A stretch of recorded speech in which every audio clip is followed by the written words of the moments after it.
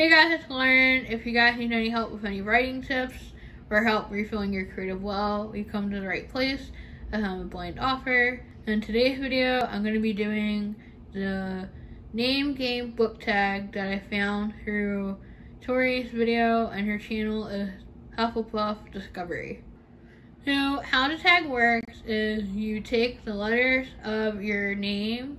So I chose to do the name for my channel, which is Lauren Adele. And you take each letter of your name and you try to find books that you've read. So the first letter is L and Les Miserables by Victor Hugo. Oh God, no!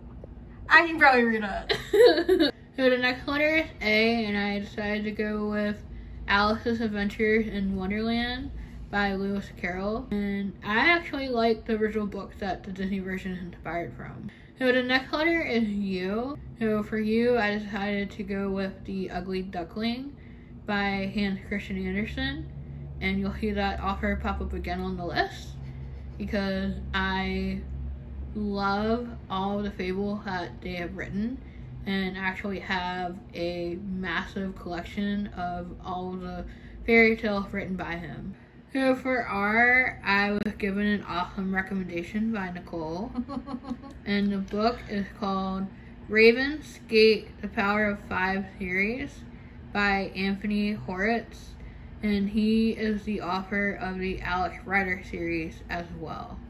Totally recommend checking them out. It's one of my favorite series.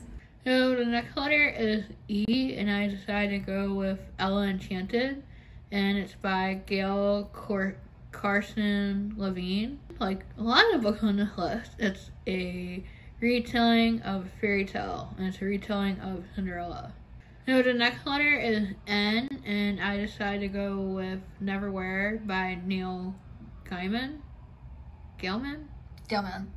Yeah, there we go. That's okay. I butchered his last name. But after reading Stardust by him, I really liked his style of writing. And apparently, in this story, it's supposed to be a dystopian take on how the character is transported to another world. And in this world, like, everything that you know has turned upside down. And the character is trying to struggle with what what he feels is right and wrong and what society thinks is right and wrong, which I think is interesting. Now the next letter is A, and for this one I decided to go with Artemis Fowl by Eoin Colfer.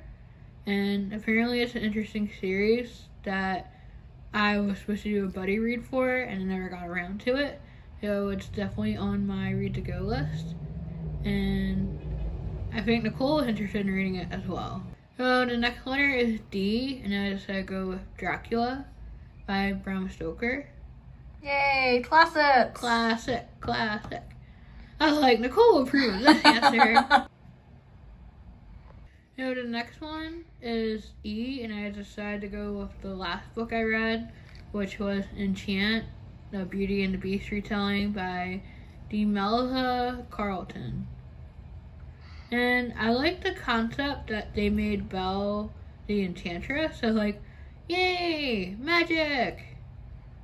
But it still ended the same, which I feel like that's how a lot of the retellings have been lately. Like, it'll start out different and I'll be intrigued. And either halfway or near the end of the book, it'll still finish like the fairy tale. And I'm like, how is this a retelling? It just ended like the other ones did. So the next letter is L. And for this one, I decided to go with my favorite fairy tale, The Little Mermaid. And see, I told you Hans Christian Andersen would come back again. Yeah, these are a lot of books that I like, but like, I was trying to put a couple of different books in here it wasn't like all like YA fantasy and, and, and fairy tales. You know, that's kind of like whatever I read. Last letter is E, and for this one, I chose Eragon by Christopher Paolini because dragons. That's all I have to say. That's my answer. It's about dragons. But there's better books for dragons. Yes, there are better books for dragons, but I had to go with the letter, and the letter was E. So I hope you guys enjoyed the video. It was a lot of fun. I will list the books I mentioned down in the description down below. I think it's fun to reread the books that I've read on here because I think like when you rewatch a movie, when you re- read a book, there are things that you didn't notice before, or there are things that just remind you how much you love that book. So until next time, try to find something creative to do today, and I'll see you guys in the next video.